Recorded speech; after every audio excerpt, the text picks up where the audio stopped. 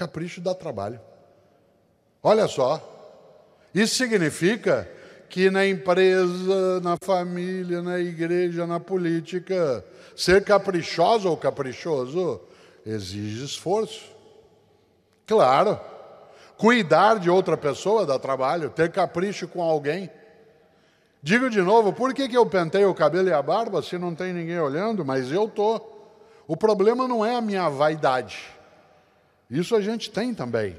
O problema é eu me habituar a ir largando mão. É, não estou vendo, ninguém está olhando, tudo bem. E aí, claro, a gente se acostuma. Por isso, atenção, faça o teu melhor na condição que você tem, enquanto você não tem condições melhores para fazer melhor ainda.